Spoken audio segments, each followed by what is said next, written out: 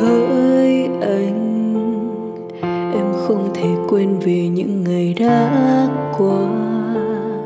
Bên anh phải chăng chỉ là một giấc mơ để được thấy anh, được trong vòng tay của anh? Sớm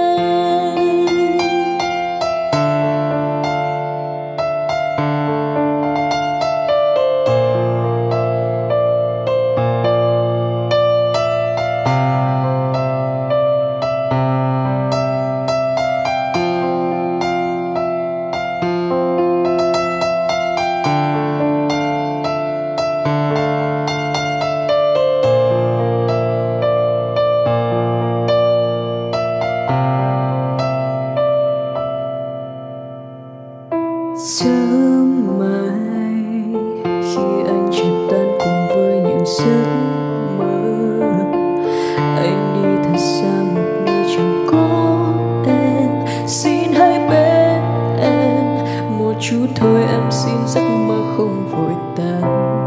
Vì rằng đôi khi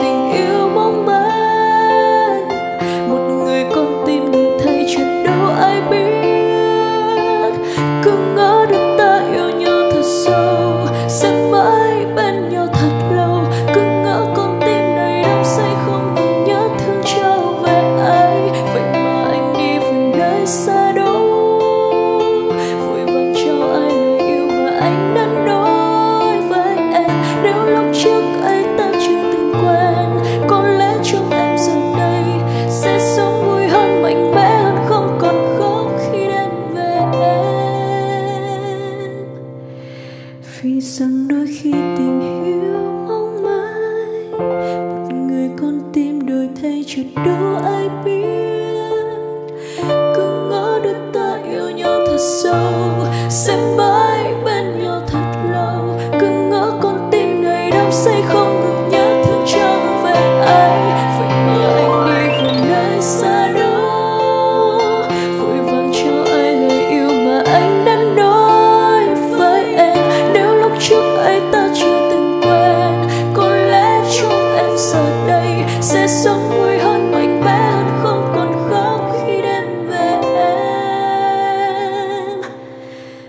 Sẽ không thể quên anh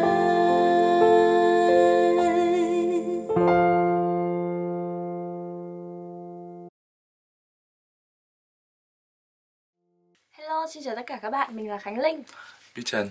Và đây là sản phẩm đầu tiên mà Bi Trần và Khánh Linh kết hợp với nhau à, và được uh, Monkey Dynasty tài trợ.